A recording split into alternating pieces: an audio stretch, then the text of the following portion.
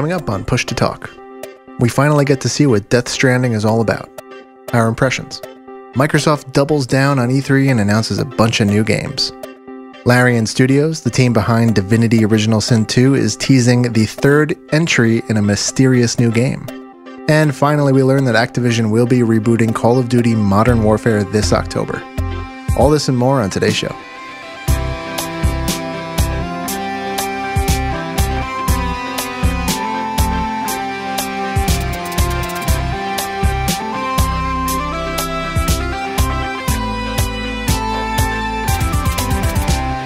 This is Push to Talk, episode 26, recorded Sunday, June 2nd, 2019. This episode is brought to you by Audible. Audible is offering our listeners a free audiobook with a 30-day trial membership. Just go to audibletrial.com slash push to talk and browse the unmatched selection of audio programs. Then just download a title for free and start listening. Welcome back, everybody. I am your host, Jan, alongside our usual co-hosts, Joe, and I was going to say Bill, but Bill is actually in the process of fighting a vicious man flu that has sidelined him for the better part of a week. He sounds like he's dying. I think his spirits are still intact because he got really grumpy about some Destiny stuff the other day.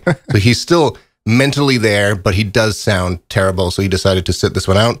We'll hope that uh, he'll join us again next week. But in in his stead, Larryn has offered to sit in. So, hello, both you, uh, Joe and Larryn. How are you guys doing? Hello, I'm doing great. Thanks for having me. Yeah. So we sh- we should say that um, I mean you guys are familiar with Joe on the podcast. Larryn, do you want to give us a quick background? I know you've done some YouTube stuff. You're definitely um, quite heavily involved in gaming as well. Like, what's your what's your not resume, but uh, what do you enjoy when it comes to gaming? uh, yeah, so I run a YouTube channel that is just personally run by me, uh, where I cover a lot of Plants vs Zombies, uh, but I've also delved into a bit of Darksiders. Uh, I know those are two completely different games, but um, that's what I cover on my channel mostly. But I'm also just a freelance writer for different websites, so I dabble in a little bit of everything, so to speak, in the gaming realm anyway. That is an interesting combination. Is uh, Darksiders and uh, Plants vs Zombies. sort of the opposite ends of the spectrum, I guess. Yeah. Is yeah. Plants vs Zombies? Do they still come out with new stuff? It's been a long time since I've played it. I used to play it a lot on my my iPad and stuff. So Garden Warfare Two is the most recent oh. Installment, and it's the third person shooter. And they've started to well, PopCap, the developer, has started to roll out some updates to sort of get people excited because everybody's speculating that they're going to be releasing something at E3 or some sort of new Plants vs. Zombies game because uh, they have confirmed that they're working on something. We don't know what. Uh, so it could very well be Garden Warfare 3. It could be another type of like mobile game, like how Plants vs. Zombies originally was. Uh, so we'll have to see. But yeah, they're they're updating it pretty regularly. I'd say. Hmm. And you know what? And just when you said Dark Side or something went off in my my head, and I remember seeing this. And I guess there are rumors of potentially a new Darksiders game being revealed at E3 this year. Yeah. So a while back, there was this leak slash rumor going around about uh, a new Darksiders game on the subreddit, and then I guess uh, THQ confirmed that they will be doing um, a panel about the Darksiders series, how they come up with uh, the games and where they're going with it in the future. And I think they did say for sure that they are going to reveal some sort of Darksiders game wow. at E3. So uh, we don't know if that's going to be the next one in the series or a prequel, uh, something like that. But people are pretty hmm. excited for that. We're going to talk a little bit more about E3 at the end of the show. Uh, this is going to be technically our last episode released before E3. However, we're going to be recording one more episode uh, that will be recording before E3. So we'll save our predictions and stuff for the next episode, which people will then be able to listen as E3 is happening. So you can literally listen to us fail uh, in real time or succeed. and we'll, we'll dis- dissect it afterwards.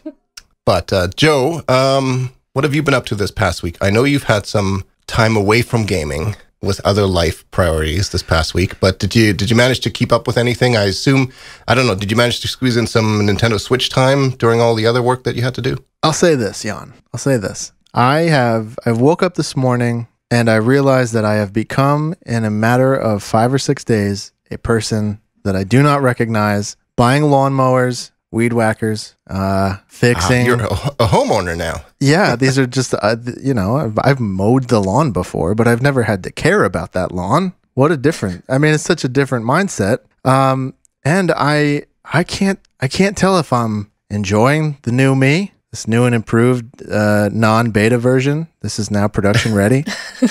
Joe, what 2.0? I I'm I'm I, I think it's 1.0. Oh, 1.0. Okay. Yeah.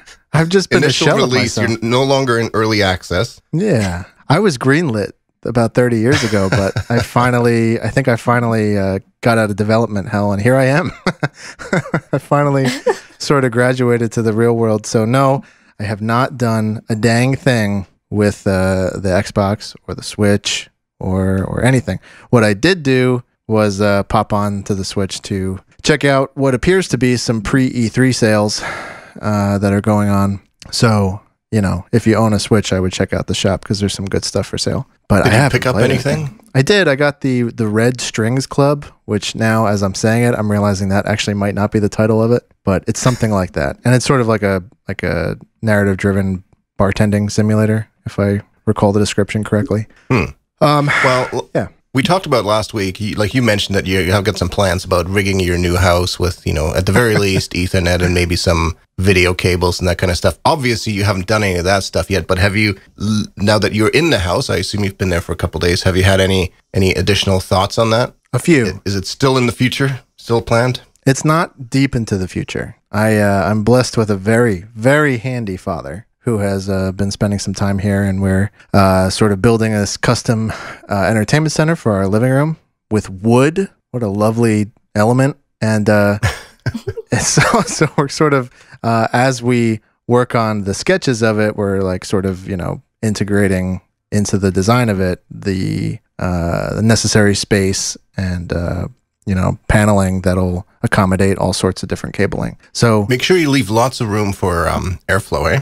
Exactly, yep. Because I mean, I mean, you've got an Xbox One, so you know just how loud that thing gets and hot. And I imagine that any upcoming PlayStation Five is going to be, you know, if you compare it to the PS4 when it first came out, it was a jet engine that could heat your house. Yes, absolutely.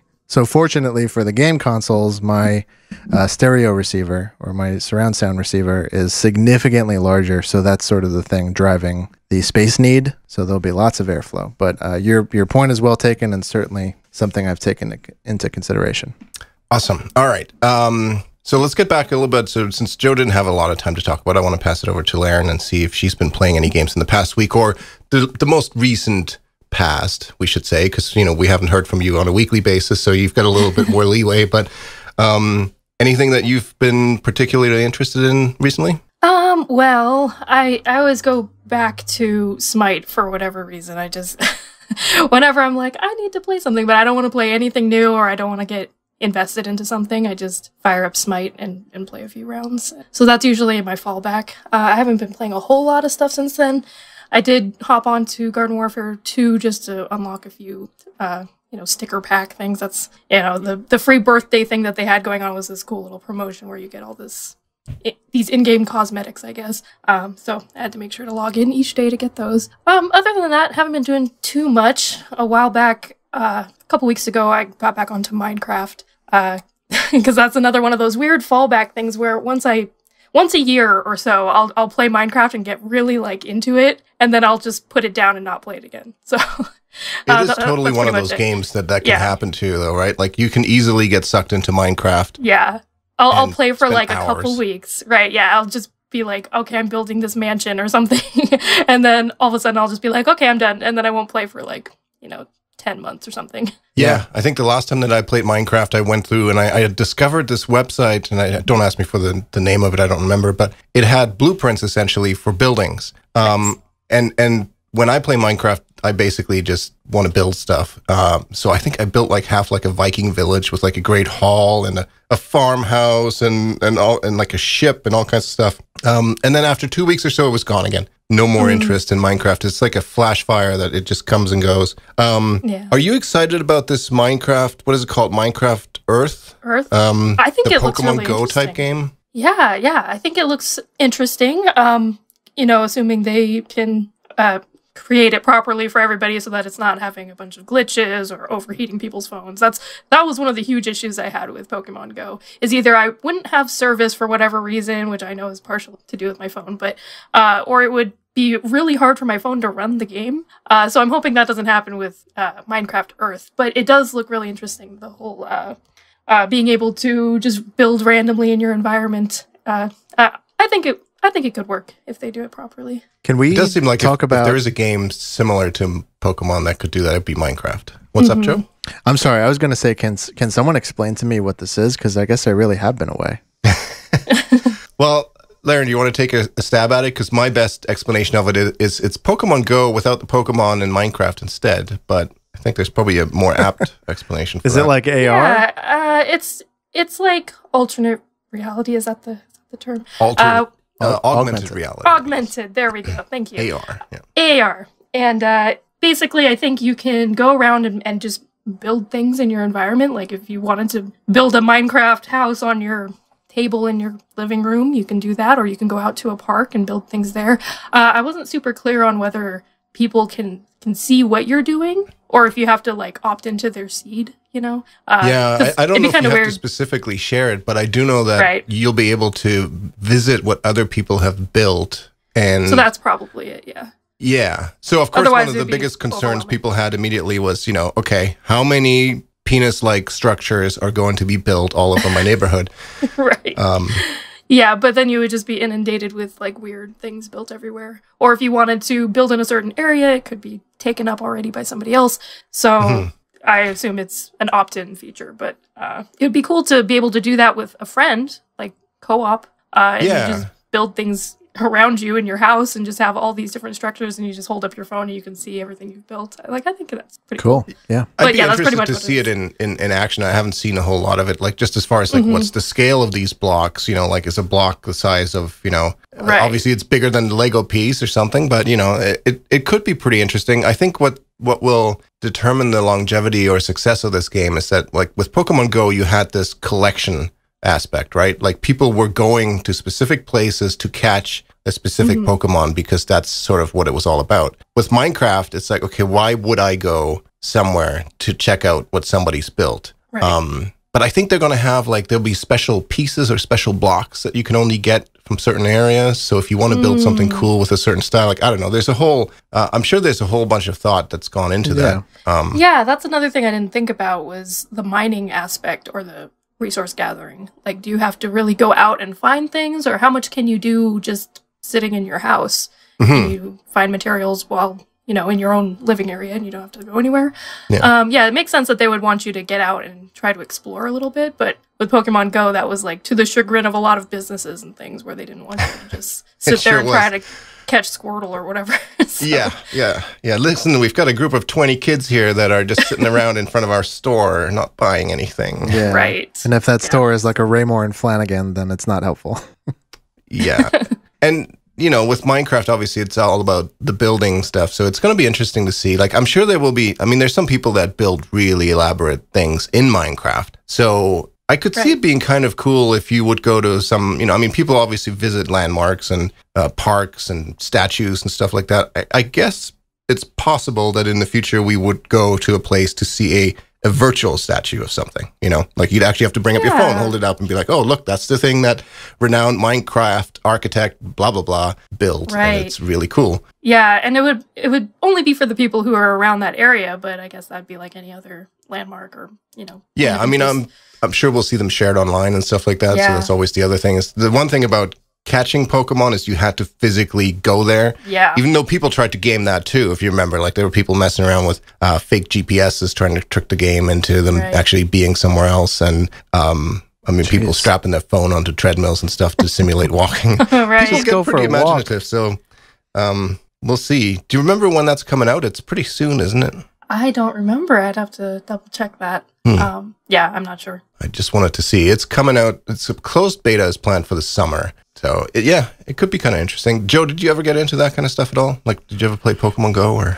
Yeah, I did. And uh, more apt to the conversation, I played a lot of Minecraft. Actually, when it first started becoming a thing, or maybe like 09 or something, um, early Minecraft, I thought it was like incredible. And uh, Back in the original days when it was a free game before Microsoft bought it and all yeah, that. yeah, yeah, yeah. And uh, yeah, it really did. It really did at the time, sort of like just change your change your thinking about what video games were. It, it was kind of on the cusp of that like community driven uh, era that I think we're definitely obviously in now. Um, just because it was it was all about like what can you do and uh, you Mhm. know show me what you can do basically. So Yeah. Cool stuff. And I think it really sort of jump started people's YouTube presence a lot more, alongside Call of Duty and things like that. But like Minecraft really took over the YouTube airwaves for a while, um, just because it allowed people to be so creative. And Sure. at the time, YouTube was really conducive to that. So, um, It's very true because uh, I mean, a lot of games. Yes, there's a lot of let's play content and and very skilled esports content on YouTube. But as far as creativity, I think Minecraft's got to be uh, the one uh, that all that started it all, but probably the king of it still. I can't really think of too many other games. What's always surprised me is that Lego never really managed to break into that space because I mean, they're obviously the original creative block building uh, game, if you will. Um, and while they're no doubt still popular, like I have a cabinet behind me full of Legos, and I wish I had more money to buy more Legos and more space to put more Legos. But um, I feel like, yeah, virtual Lego games never really quite found the success that Minecraft had, which was surprising to me. Minecraft is just so mechanically well done that I think that was part of the. It's not a problem, but I think that's why Lego never really took off because it just didn't have the systems that Mhm. Minecraft does. It's just so you know intuitive, and once you get the hang of it, you can just go and go and go. Um, and I don't know that the Lego games really have that quality. Yeah, that's true. Um, all right. Well, I talked last week about getting my Oculus Rift set up with an expansion extension cable, and um, predicted that I would still be looking for that cable by the time the Valve Index becomes available in Canada. And that may still be true because I've already abandoned that endeavor. I think I did it the afternoon after we recorded the the podcast, Joe. Um, I decided, screw this, it's just not going to work. Uh, so I've got my Oculus Rift S sitting here in this room. I, I literally moved some furniture instead. Um, that was easier in the end than trying to find a 15 plus foot DisplayPort extension cable that would not result in problems. And cheaper. Yeah, yeah, that's true. Um, I, I haven't had as much time to play with the Rift yet as I wanted to, so I'll reserve my mini review for a future episode. But I did spend a stupid amount of Destiny 2 Gambit time in the past week, and I have a good excuse. Well, not good, but I have a excuse, an excuse. Um, Gambit is one of those game modes. They call it uh, part PVE, part PvP, where you basically uh, fight against AI enemies first, and then there are moments where you can invade the other team and, and go PvP against them. Um, anyways, like my group uh, that includes Bill and Dusty, uh, we kind of enjoy it. We don't hate it as much as regular Destiny 2 PvP, but we got way too much Gambit exposure this past week. The reason we did it is because the Infamy, which is the ranking system for it, had they had triple Infamy. It's the last week of their season. Season eight of Destiny 2 begins next week. Actually, today, if you're listening to the podcast on Tuesday as it's being released. Um, so we were trying to get some stuff done last minute. We, we, we thought this would be the time to do it. Uh, I think we all got it done, and Bill decided to want to do it three times, which seemed insane at the moment. Um, still does. So it's one of those things. I don't know why we do this to ourselves a lot. I keep telling myself I should just play games for the fun of it and not play things I don't want to do. And then there's this little thing in Destiny 2 that happens. It's like, but if you just do it a little bit this week, like 20 plus hours only, just a small amount, like a third of your life this week, you'll get something shiny that you'll forget about next week. Um, so yeah, I don't know. We're just Oh. all suckers for that Wow. that game. Um, it's a little sad, but you know, I think we've had our fill of Gambit for now. I've really got to stop doing that. Next week there'll be new content in Destiny 2, so I'm sure Bill and I will talk about that. And I'm hoping somewhere to still squeeze in some VR time. The one game that I did try out. Um, have either of you guys ever done any VR gaming? No. Uh, no. So there's a game. If you ever get the chance, like if you ever get gifted a, a VR headset or you end up with one somehow, there's a game called Lone Echo, which is probably, in my opinion, probably the best VR game available. It's a story-driven narrative type game, so it's not one of those shooters. Beat Saber is probably the one that people talk about all the time that I'm sure you've heard of. And Beat Saber is great in its own right. But Lone Echo solves, in my opinion, one of the biggest challenges with VR, and that's general like movement. Um, like there's games that will teleport you from one point to another because a lot of people tend to get motion sick if you actually are physically standing still but use a joystick to move. Right. You know, like it really messes with your brain. So Lone Echo solves that by putting you into space. You're basically on a space station. You're an android, like a maintenance type robot, and you free float through no gravity. and you grab onto objects and pull yourself, right? So you use your own momentum to push around. Hmm. And that works amazingly well when you're standing still. And I'm sure I look like a complete fool, but you kind of have to put that aside when you're doing anything in a VR headset. Because you're grabbing onto things and you're pulling yourself around and you're letting the motion, the momentum, and the lack of gravity carry you through space. And what I found hilarious is that when you're having conversations with NPCs in the game, I tended, you know, I was kept floating away from them. So I would literally grab their face and hold onto their face as they're talking to me. Um, and it's an amazing experience because they've actually coded in the AI of these other NPCs that if you do that too much, they'll actually like swat you away as if you're a fly, which makes sense because if you're having a conversation with somebody that keeps holding onto your shoulder or your face, that's probably slightly annoying. But it's a wonderful experience, and I want to do more of that. It's not a very long game. Most VR titles aren't super long, but it's a it's a really cool experience. So if you ever cool. get the chance and you haven't tried out Lone Echo on VR, you should um, put that on your list. Very cool. Duly noted. now, we said E3 is just a week and a bit away. Um, but surprisingly, I feel like there was a lot of news this past week. I feel like E3 has become this center point where news is released around. It's no longer just happening in the three days at E3. It seems to have grown into this, like it's leaked out. You know, like there's news a couple weeks before and some stuff afterwards, and not just at conferences, but just in general. And it should be that Like- way. It's it's easier guess to so. digest everything instead of like I, a couple years ago when E3 was happening, I was like, what what did I miss? And when it's like this, the way it is now, you know, you have this week before where it's like that was Death Stranding Day, and then the next day will be you know New Darksiders Day or something. We don't know yet, but kind of let stuff breathe a little bit. Mm. Sorry, I'm having an ice cold smoothie because I can't have the air conditioning on when I'm doing the podcast and it's hot. Nice. So, but yeah, Don't get a so brain freeze. that's my goal. I try to get a brain freeze that lasts for 10 minutes and then I, I can talk for 10 minutes. And so you mentioned Death Stranding, and there literally was basically a Death Stranding day. Mhm. I think it was on May 29th where um, they released a new trailer, which was eight minutes long, which was quite impressive. Yeah. It was quite a long trailer. It was. Um, you guys watched it. What did you think? Go ahead, Larry. Uh, I'm I'm kind of on the fence about it. Uh, it looks like it could be interesting, but they really didn't show a whole lot of uh, engaging gameplay, in my opinion. I feel like there was a lot of walking. There's a lot of mysterious intrigue, story stuff going on, and then that was about it. yeah. Uh, and lots of Mads Mikkelsen, which is fine because I like him as an actor. Uh, but yeah, it could be fun. We'll see. I'd like to see more. I appreciate your lack of hype because it's uh, just very clearly a, your uh, genuine take on it, and uh, it's uh, uncommon, I'd say, in dealing with uh, Kojima.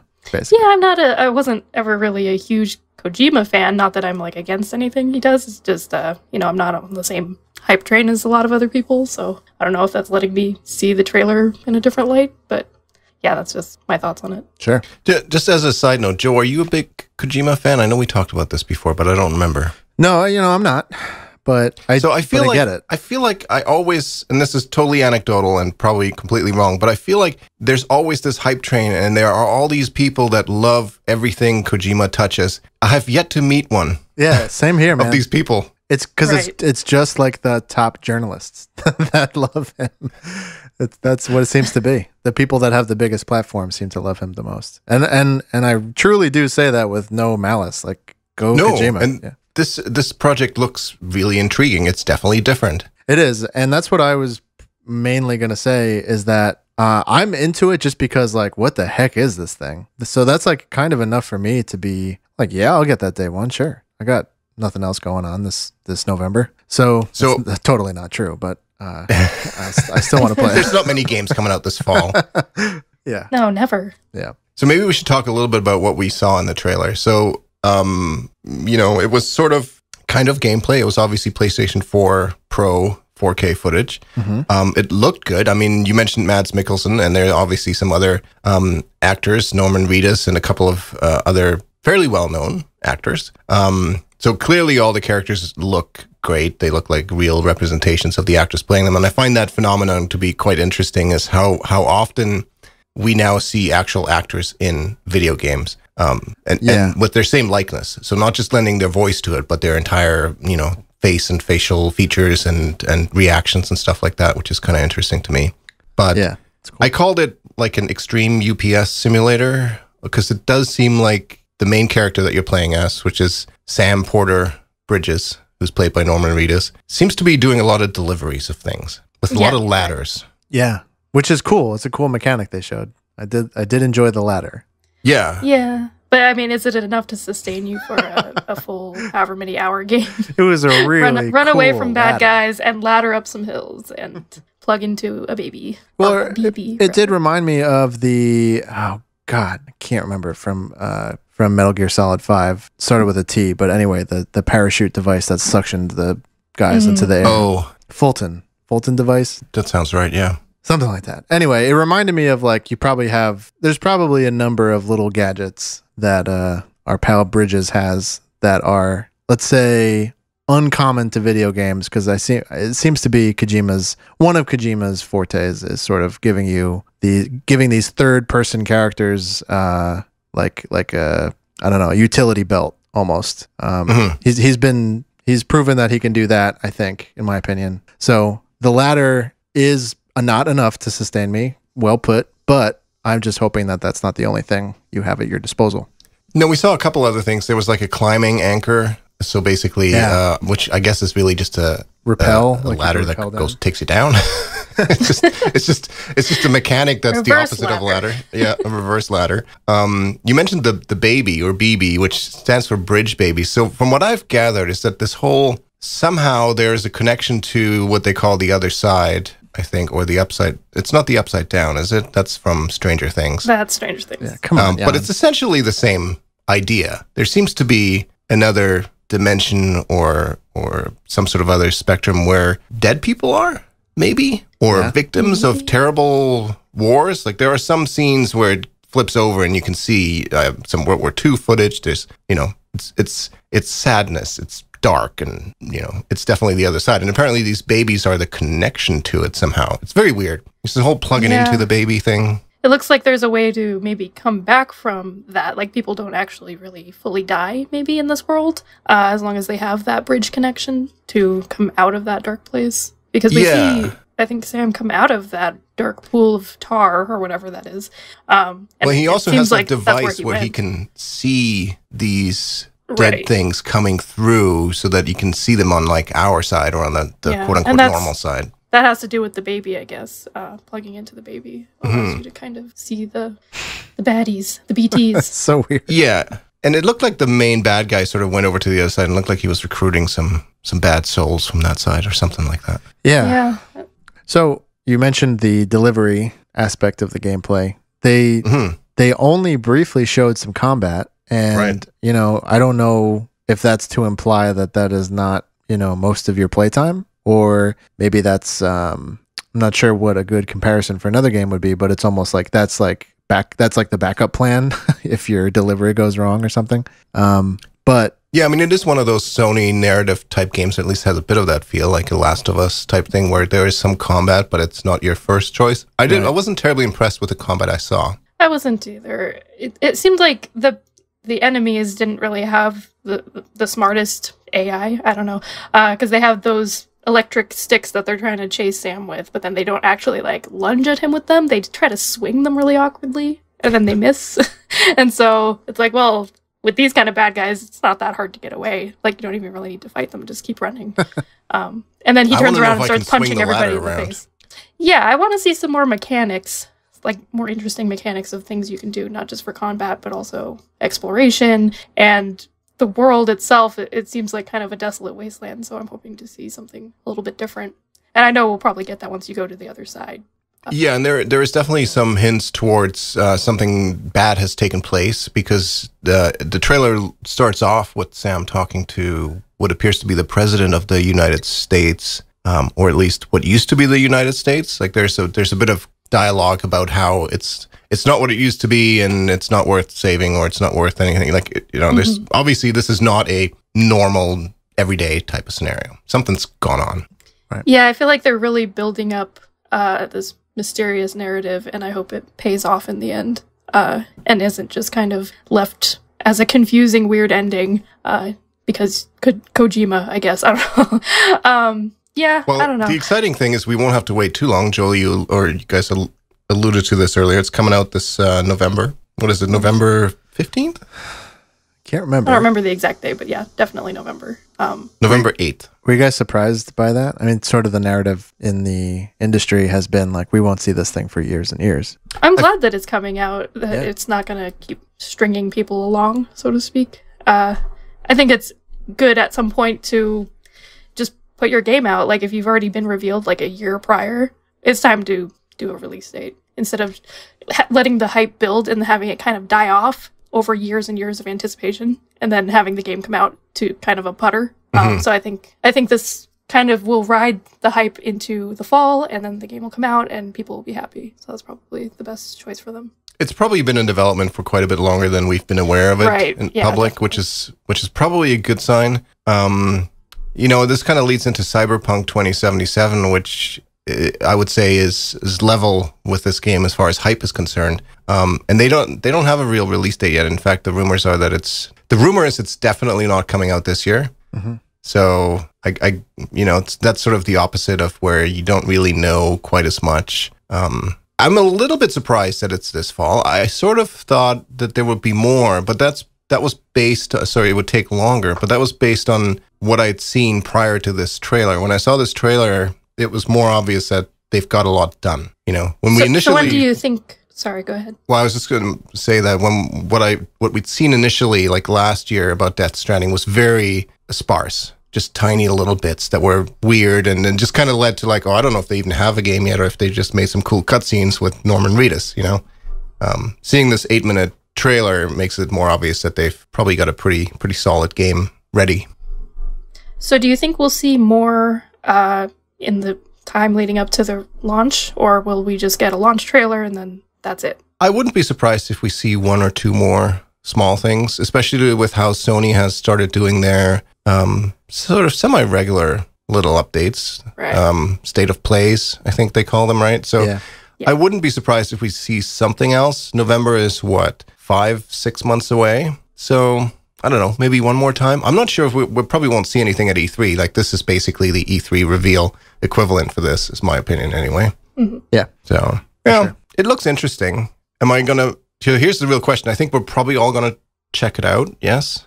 Yep. Yeah, for sure. It's it's one of those that you just can't not check out because mm-hmm. it's so so hyped. People are so excited for it, and it's also full of intrigue. It's trying to it's really trying to get you to dive into it. So I think we'll definitely check it out, but we'll see how it turns out. Is anybody going to order the collector's edition that comes with an actual Bridge Baby pod? Oh God. Have you seen Uh, that, don't Joe? that. It looks creepy. I- it looks just as creepy that. as it does in the trailer. Yeah. Does it float around? Well, I don't know if it moves. I hope not. I think it comes out. You can take the baby out, but I don't. I don't know that it floats, or maybe it's suspended with some little. Goo. Yeah, I, I, I have some sort of game memorabilia in my room, but I don't know if I want that in my room. No. Oh, it wouldn't go in your room. It's supposed to be strapped to your chest. Yeah. Yeah, it's your connection to the other side, Jan. yeah. I'm gonna fall into the goo without it. I think That's ignorance one- is bliss. I don't want to know about the other side. Uh, Speaking of ignorance, though, that is not one that you could easily explain to mom and dad. Right. You know? I don't know if you can easily explain that to other fellow gamers at this point. Like it's that seems like a challenge. That's true.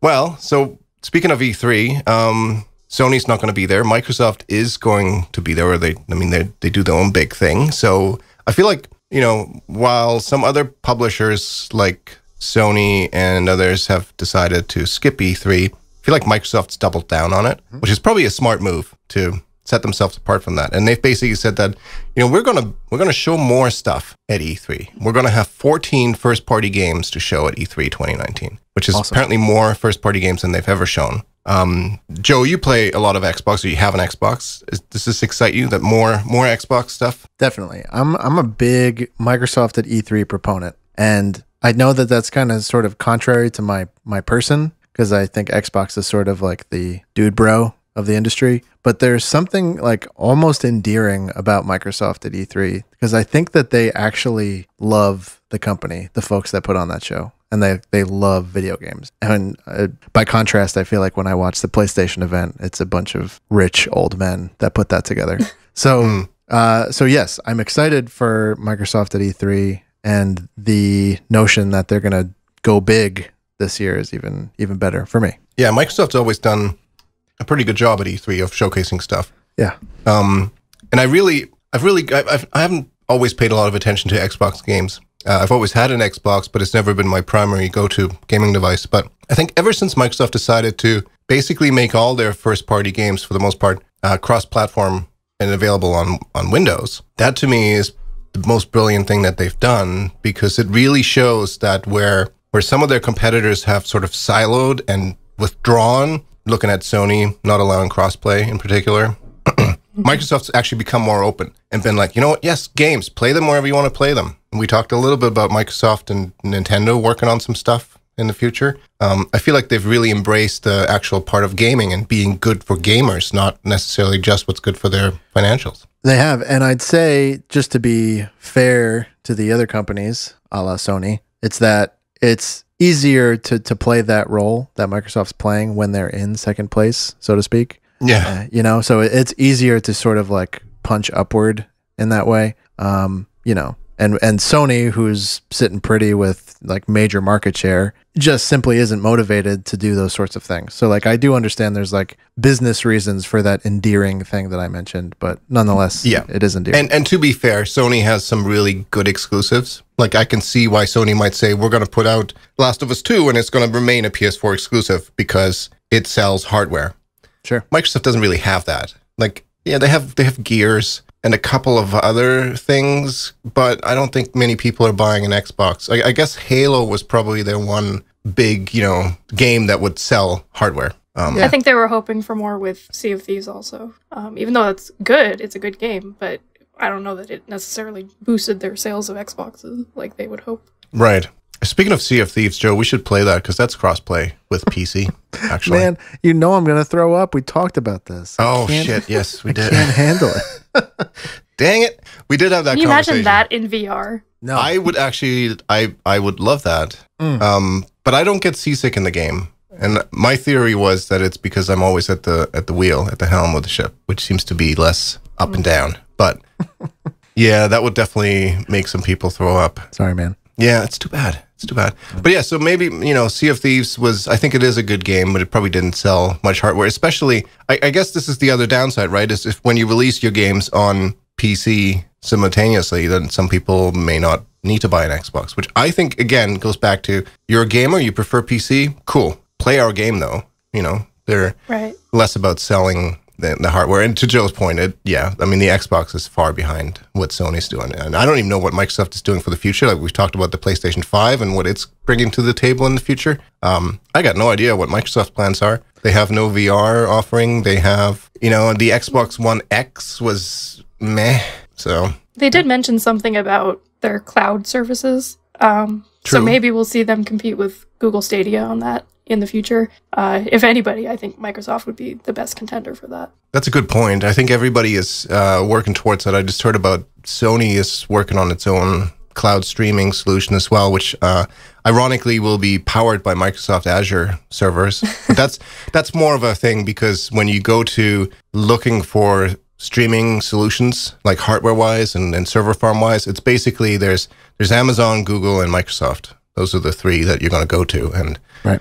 So it doesn't make sense for Sony to go with Google because obviously Stadia is a direct competitor. And I think it actually just shows that Sony doesn't really consider Microsoft that big of a threat anymore. Um, val- probably valid. Um, but yeah, streaming is probably the the next big thing. And Microsoft, I think it is an opportunity for them to to sort of try to gain, make some gains again because that is something that they should be good at. I mentioned before that I think Xbox Live is far superior to PlayStation Plus even though I don't pay for that, and I for some reason pay for PlayStation Plus. But again, it, it harkens back to the games, right? I wanted to play.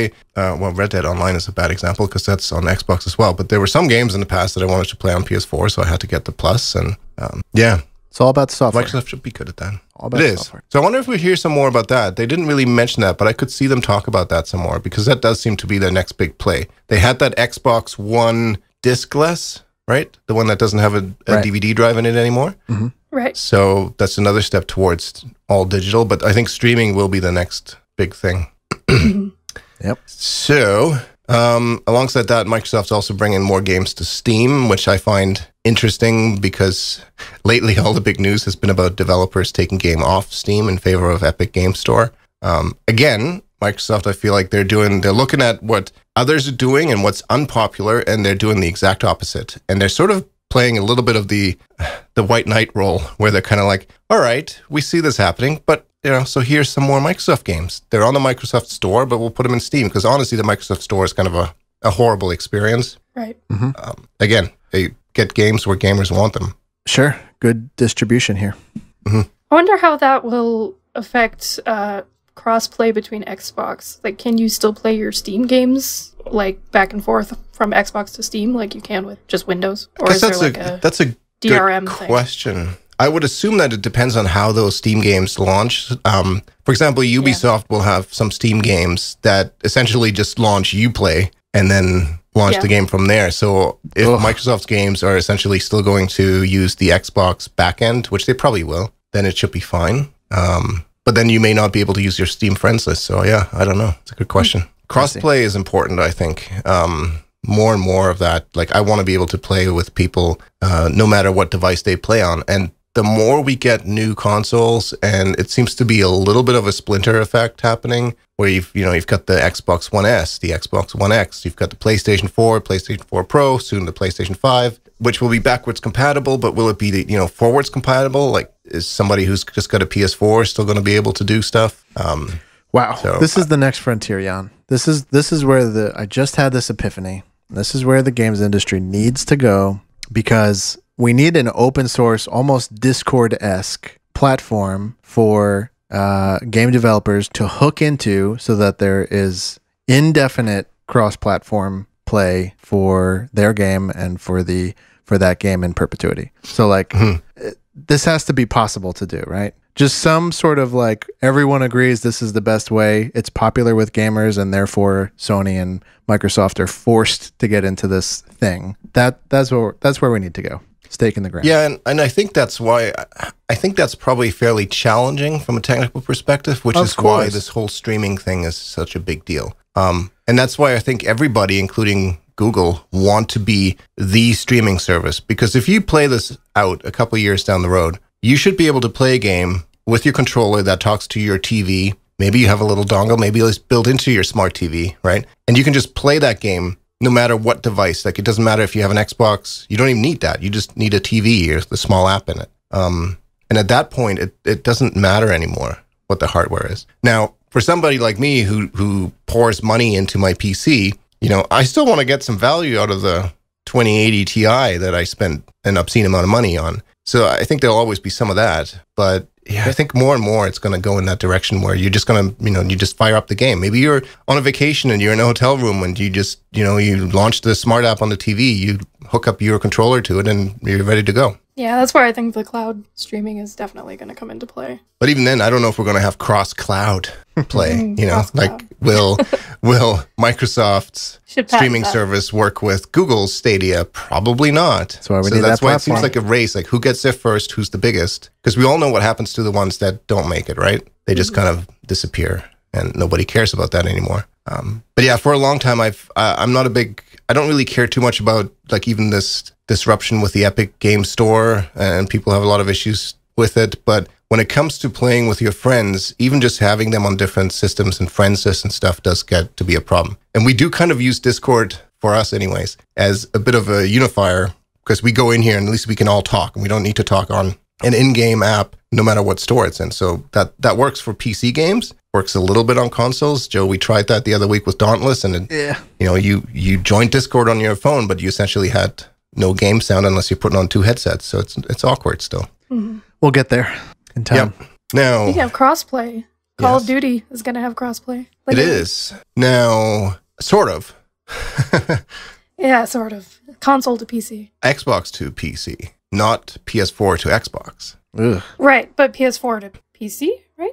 I assume. Y- yes, I think the only one out of the triangle that has been cut is the Xbox to PS4. Yeah, and, And that's that not has out to of the be- ordinary. But that has to be a that can't be a technical limitation because the argument's always been like the argument against crossplay has always been oh PC gamers the control scheme is just gonna dominate people on a gamepad on a console. That's been proven wrong for the most part. Um, but yeah, this seems to be just another Sony Microsoft not playing along nicely on that. Right. Silly. Very sad. Um, Are you guys interested in this Call of Duty? I watched this trailer and I was like, it looks nice, but I'm not sure if I. Uh, I've never been a big Call of Duty fan to begin with, but this one I kind of looked at me like, I don't know if I want to play a game where the realities of war are ripped right from the headlines. Like, I'm not sure if I want to do that. Yeah, definitely. I definitely can tell you that I do not. Yikes. Right. Um, I'm kind of again lukewarm on another lukewarm on a uh, game that I'm on, but I was really into Call of Duty back in the day. Oddly enough, that was like my game of choice. Uh, Was it the multiplayer And- stuff, though? I assume. yes, for the most part, I did play some single player. Um, but yeah, it's mostly multiplayer. Like I think most people are on that level. Uh, the fact that they're calling it Modern Warfare, at first I rolled my eyes. I'm like, really?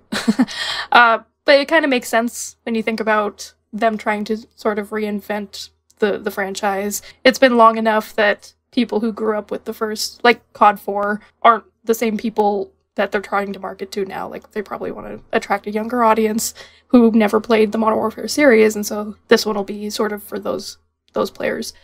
Um, so I, I I'm interested to see what they do with like Captain Price and all the different iconic characters in the Modern Mhm. Warfare. Because it is a reimagining, and yeah, they are bringing those Right. characters back. Mm-hmm. So um, it's funny because I played most of my Call of Duty games for the single player. Like, because for the most part, they had what I would call summer action movie type stories. They were by no Mhm. means well written or super intriguing, but they were like the, you know, they were like the the Die Hard movie, the the Rambo movie, the big action summer event. Even though it always comes out in the fall, but you get my meaning, I think. And Right. so it was entertaining enough. Um, I think I'm just getting old that I look at this and be like, I, I don't know. However, I am intrigued by this co-op thing that they're tossing into that, where the single player campaign I think will actually lead into some co-op missions. And I'm always I'm all about the co-op games these days. I don't do player versus player unless I can.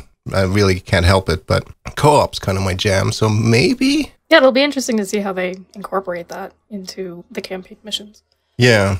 I feel like they're they're making this attempt again where you play where they don't want to have like it, a good versus bad guys thing where they they let you play from both sides. But I've read a bunch of stuff about this already, and it doesn't seem like they get that quite right. Um, I don't know. It's it's tough to make a modern day conflict game when there's so much conflict in the in the current time. You know, like it's it's difficult. I feel like it's a lot easier to make a future warfare game or something like um you know like a Fortnite where it's completely fictional, or even Apex Legends where it's you know it's it's it's a whole different thing. Like it's difficult to do anything realistic, and it's weird that Infinity Ward kind of doubled down on the realism thing. I think so. I'm not sure if that's going to be a, a hit or not. I'm sure that Call of Duty fans will be all over this because they are every year, and it's coming out on October 25th again. So there goes your late October, early November.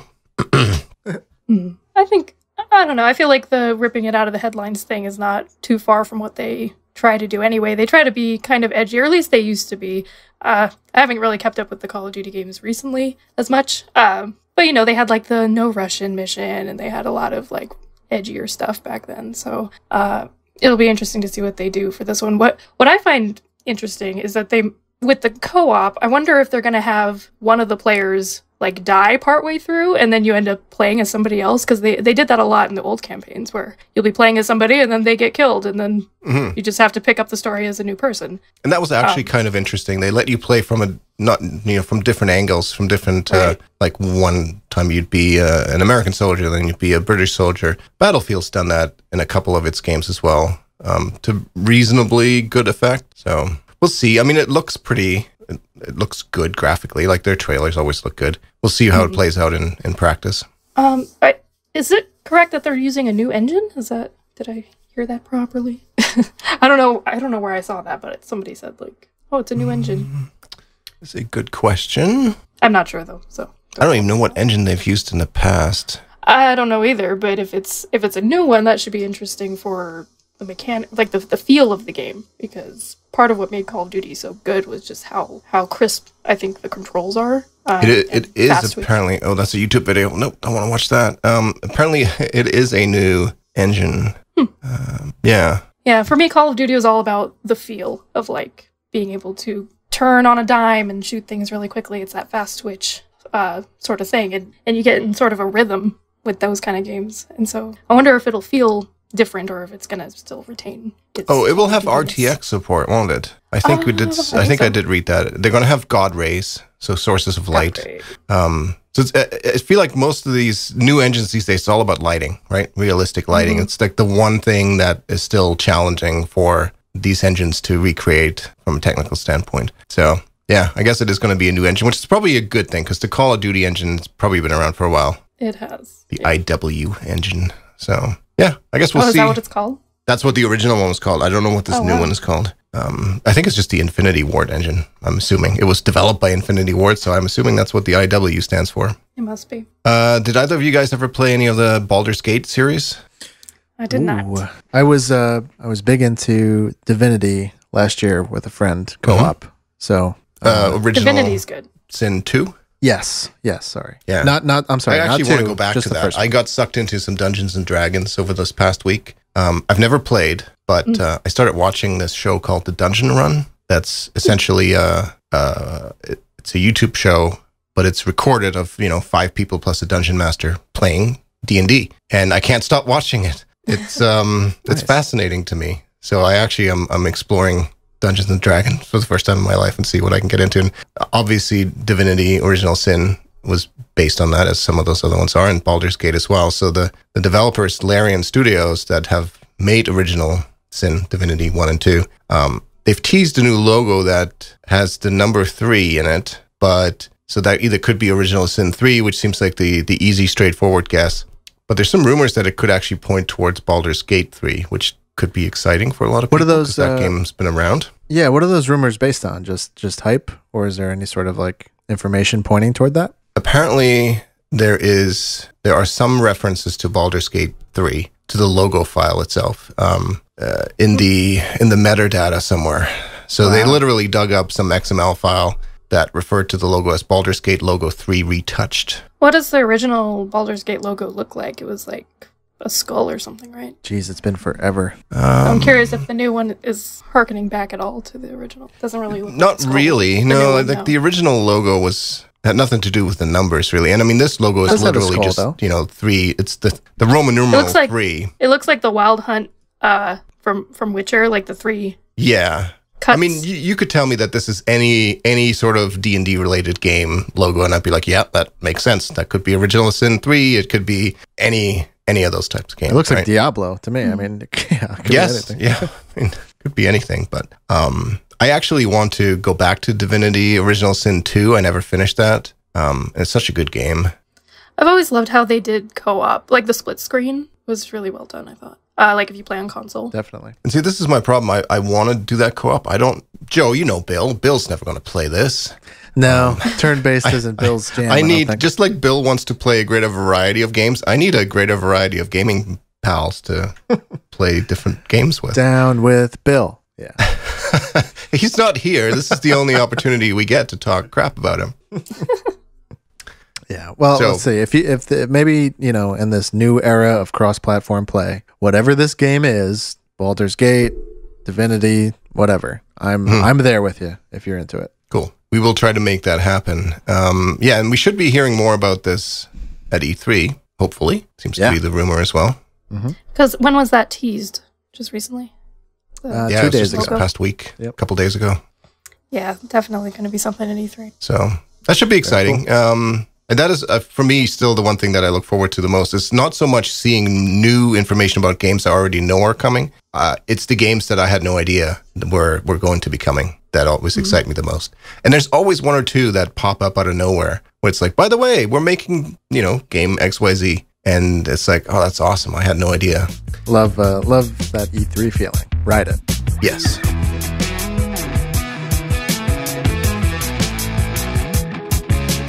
And speaking of E3, so as we said, you know, we have one more episode to record before it starts. Um, I stumbled across. Uh, every I think everybody's familiar with bingo, and lots of people do. They'll do E3 bingo, where they basically take a sheet of lots of squares, and you fill in each square with a prediction, and if that happens to come true, you check it off, and if you create a straight line or diagonal line, whatever, you've got a bingo. Google it if you don't know what bingo is.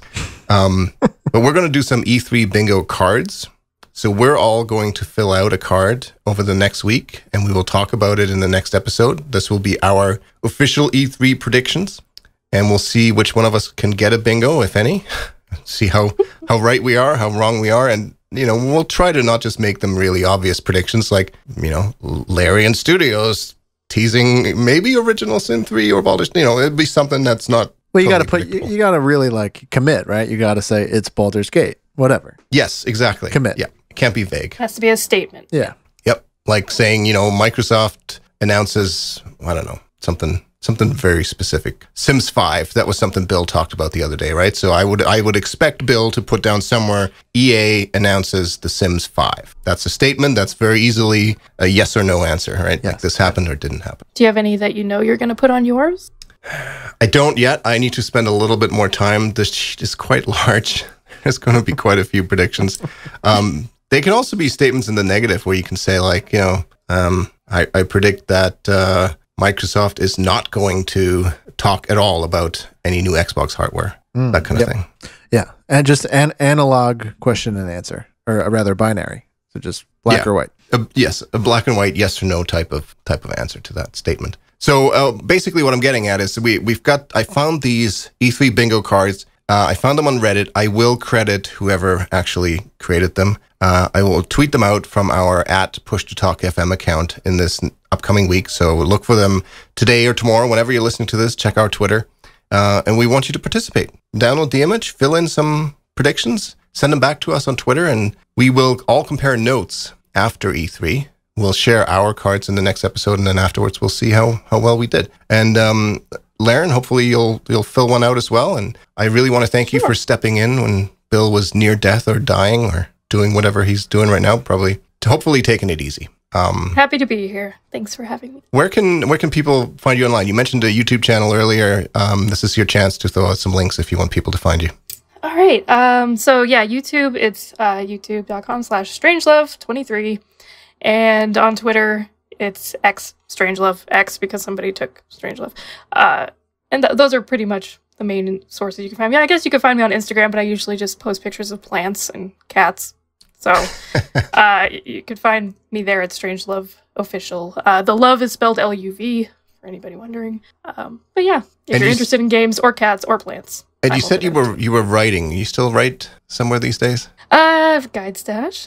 um, I'm also trying to, I'm trying to get my own little indie game blog up and running. Oh, awesome. So working on that as well. Um, that's that's basically it. Aside from doing all the content creation over on YouTube at the moment. Sounds sounds great. Well, next time we have you on, we'll have to you'll have to give us an update on your indie blog, see how that's progressing, because that sounds like a great idea.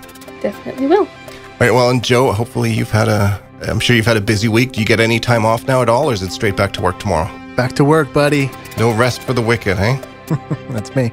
All right. Well, we will be back next week. Hopefully everybody's enjoying their summer, and thank you very much for listening.